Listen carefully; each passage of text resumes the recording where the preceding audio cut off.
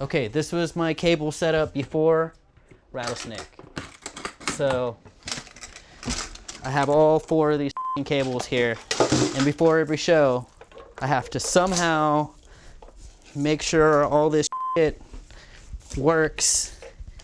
And why do I have four cables? Because I have a send, a receive, I have a channel, I have an attenuator. So I have to have four inputs. And all four of these cables ended up costing me like $250 to do this. I mean, look at what a mess this is. This is a new rattlesnake cable that I got.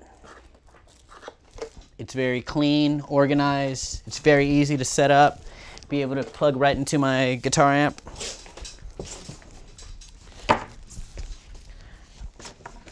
This rattlesnake cable is definitely necessary for anybody who has OCD and they want to make sure that their pedal board is real clean looking.